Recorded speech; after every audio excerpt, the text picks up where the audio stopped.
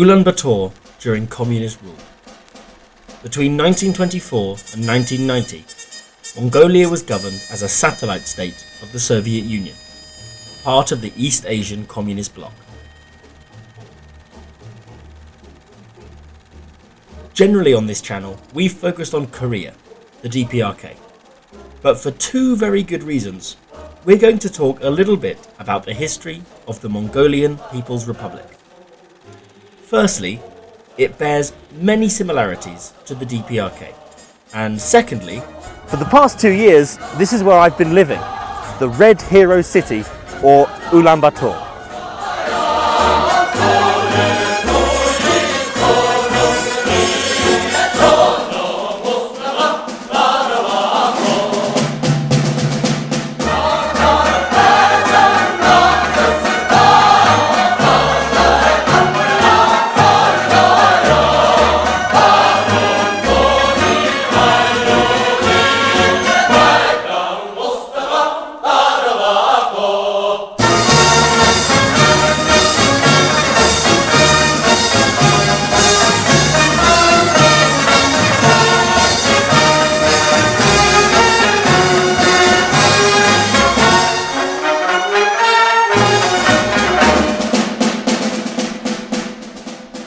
This video, I'll be looking at how the standoff between China and the USSR resulted in the militarization of Mongolia, air bases in the Gobi Desert, and a huge Red Army presence across the country. Only for it all to come crashing down in the 1990s, leaving a trail of destruction in its wake.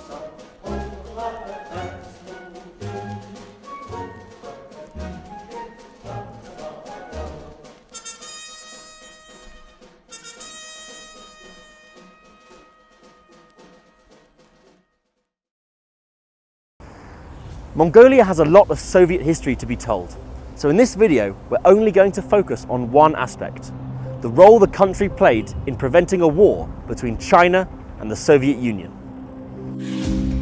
Mongolia has a long and contentious history as a buffer state separating the Russian Empire and the various dynasties of modern day China. Throughout its long history, the country has often been claimed as part of Chinese dynasties Russian territorial expansions, and governed as an autonomous region under the control of foreign powers. The Bogd Khanate of Mongolia was ruled from here, the Winter Palace of the Bogd Khan, from 1911, after Mongolia established its autonomy from the rapidly failing Qing dynasty. However, by 1919, the Republic of China re-established its control over the country, under the guise of defending it from an unstable Russia in the throes of revolution to the north. With the victory of the Bolsheviks in St. Petersburg and Moscow, the communist forces pushed further eastward, and an underground resistance in Mongolia began talks with the Soviet government to establish a new country under the command of the People's Revolutionary Party. At the same time, the remaining forces of Tsarist Russia advanced into Mongolia, forcing the Chinese military out and taking control of the capital. This wouldn't last long, however, as in July of 1921, Soviet forces met with Mongolian revolutionaries in Irkutsk under the command of Damdin Sükhbaatar to retake the country, re-establish the Bogd Khan and rename the capital Ulaanbaatar, or Red Hero City. This constitutional monarchy lasted until 1924 when, with the death of the ruling Bogd Khan, the Bogd Khanate was replaced by the People's Republic of Mongolia.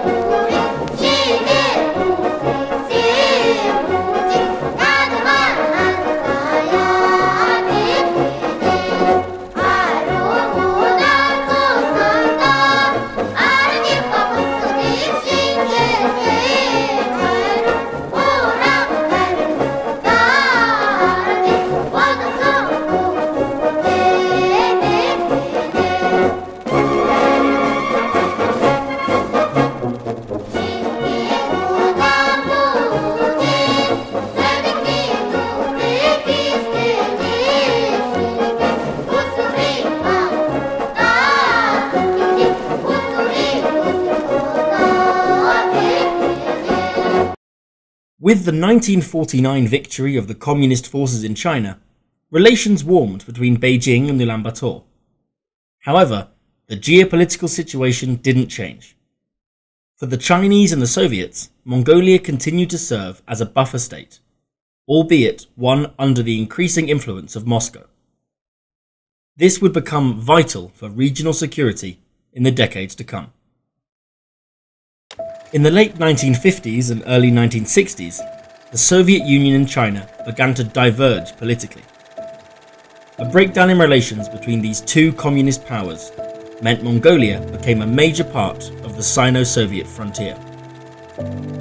But to see the real impact of the militarization of the Mongol front, we have to head south into the vast expanse of the Gobi Desert.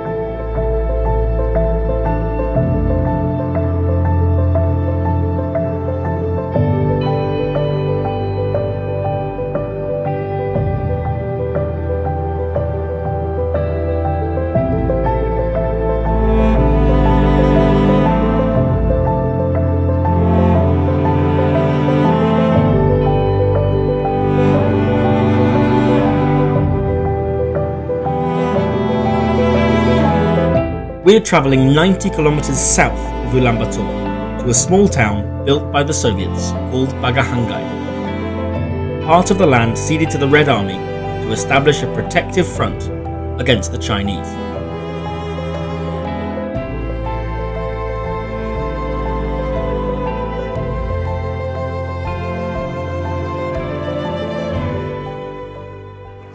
So, a town like this is obviously Soviet built with the prefabricated apartment blocks and the streets which disappear out to essentially nothing.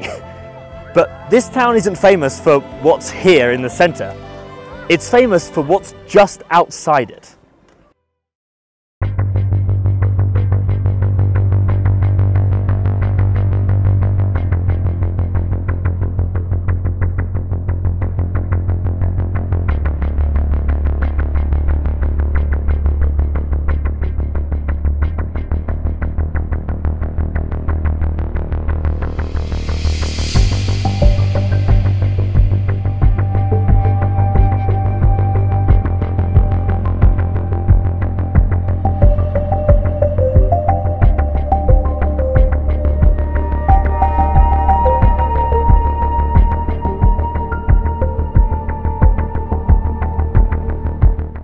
Soviets were ceded large tracts of land near Ulaanbaatar, Choibalsan in the east, and Sainshand near the Chinese border, where they built numerous air bases and military infrastructure.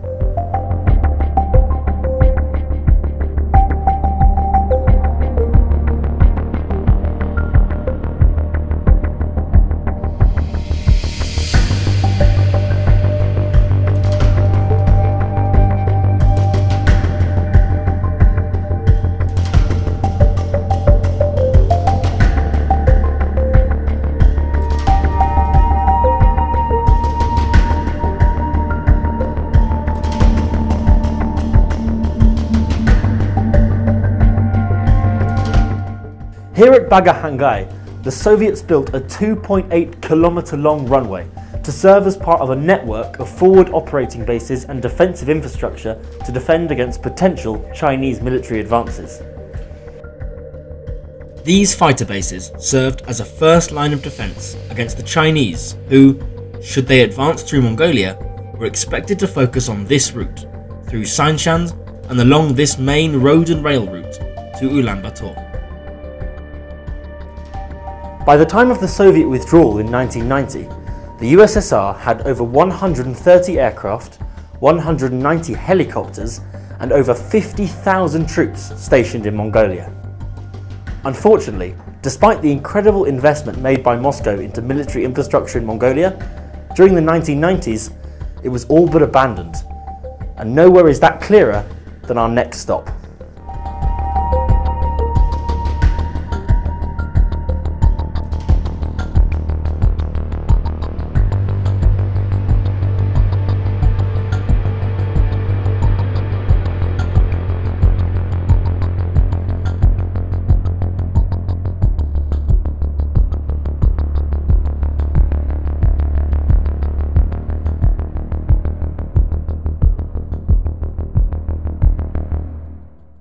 We're now heading back up north, towards Ulaanbaatar, to an outskirt town that was once home to the 12th Motorized Rifle Division of the Soviet Armed Forces, and housed over 14,000 soldiers at the height of the deployment.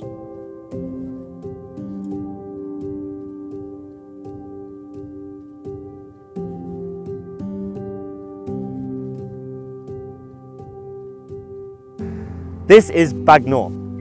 Today, it's a small mining town, as is the case with a lot of these smaller Mongolian settlements. But originally, it was built as a military base for the Soviet army. As you'll see when we head into the town, it's hardly capable of housing a 15,000 strong motorized division. But there's a very good reason for that.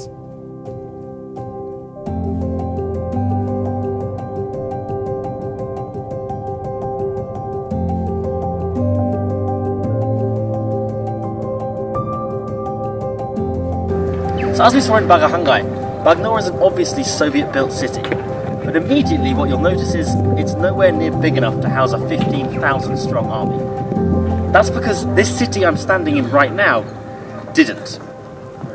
This did.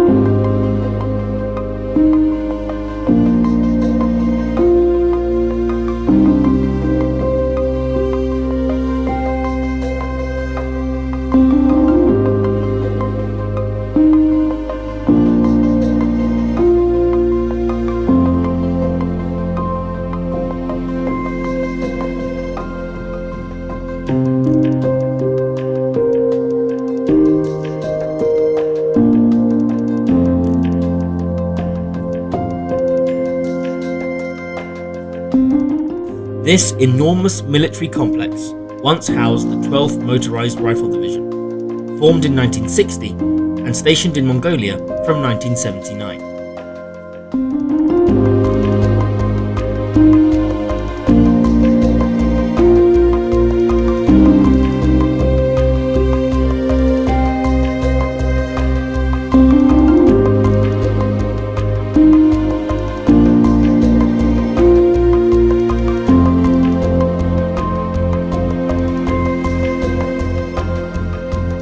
It's not especially obvious until you're here just how massive this place is. Built by the Russians to serve as a sort of home from home for the thousands of military personnel serving in Mongolia, even to the extent of importing Russian trees to give the place a more homely feel.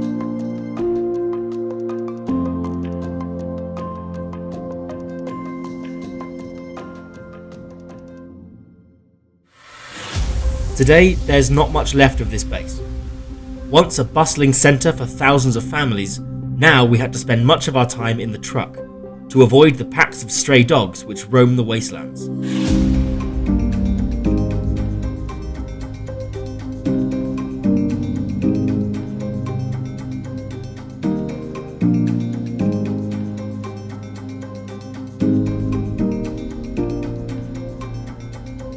There are still a small number of Soviet-era apartment blocks on the edge of the base, how long they'll be here, we don't know. But for now, they give a fantastic insight into the lives of the families who lived here.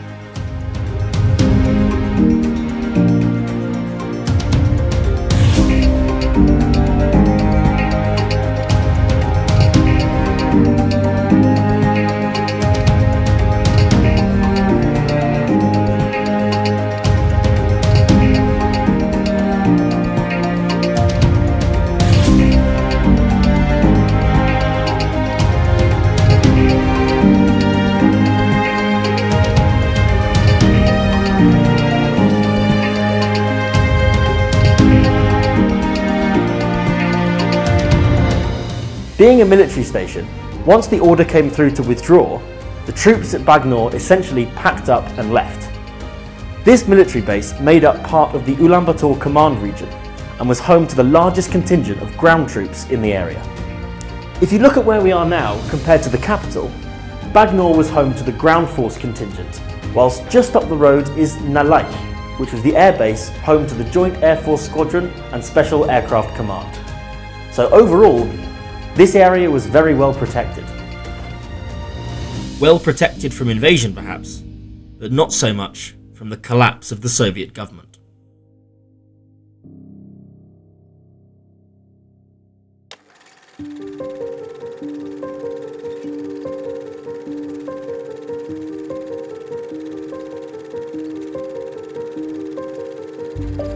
The early 1990s saw the Mongolian government collapse, followed shortly after by the USSR.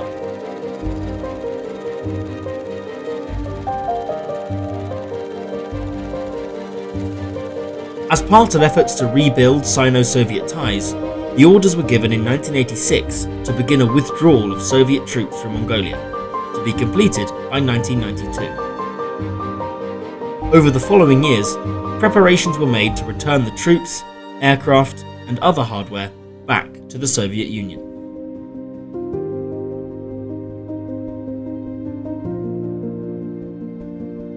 In the case of Baganuur, troops were recalled in 1990, and the base converted to a storage depot until 1993, when it was abandoned.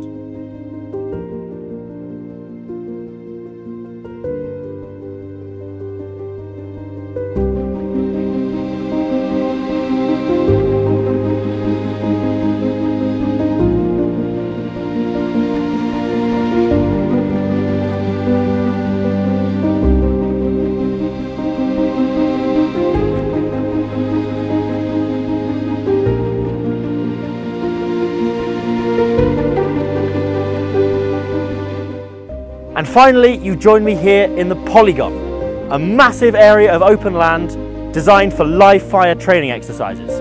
Unfortunately, since the 1990s, a lot of the original building material has been scavenged by locals, and not a lot of attention has been given to maintaining or preserving any of the original old Russian base.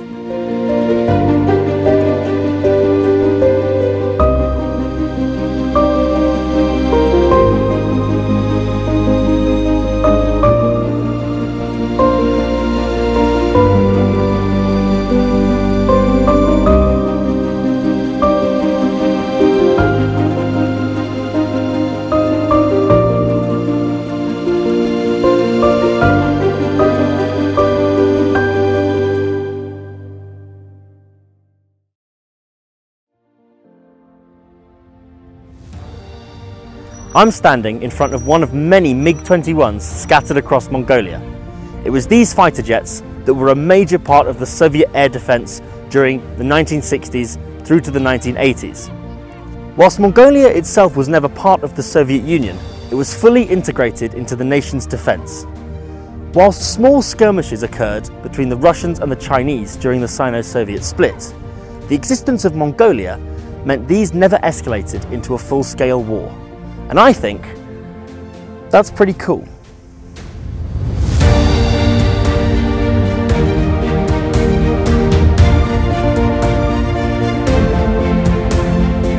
Thank you to everyone who's watched and enjoyed this slightly different style of video. I've hugely enjoyed making this short documentary and it's been a great excuse to travel around to check some of these places out. It would not have been possible without my patrons on Patreon, link in the description, but also most of all to my friend Rich, who runs Absolute Nomads, a travel company based in Mongolia, which I've been working with over the last few years. If you want to check out these places for yourself, we'll be running a Soviet Mongolia tour every May and October, visiting Baganuur, Bagahangai, and a plethora of other interesting sites where the Soviet legacy lives on. So, if you're interested, details will be in the description. And again, Thanks for watching.